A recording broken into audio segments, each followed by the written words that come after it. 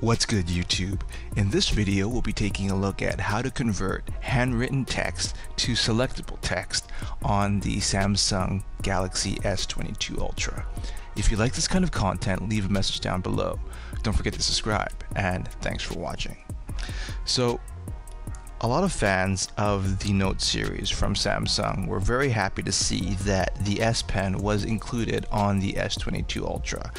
And of course, one of the main features of the S Pen is the ability to take notes.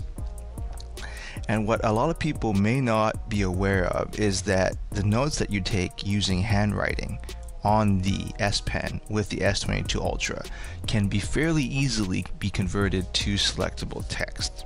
And in this video we'll be taking a, a tutorial on how to do so. So first what we want to do is take out the S Pen and then from there you want to hit the S Pen menu and you want to create a new note.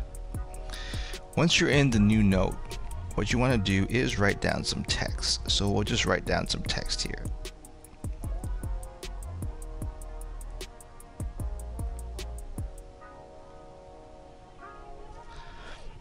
And then after you've done writing down some text, you want to hit the select feature, selection mode at the bottom of the note screen.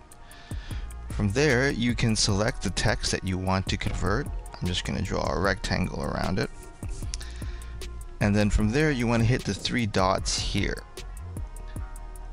And as you can see, there is an option once the S22 Ultra recognizes it to convert it to text and then it will give you a preview of what that text will be.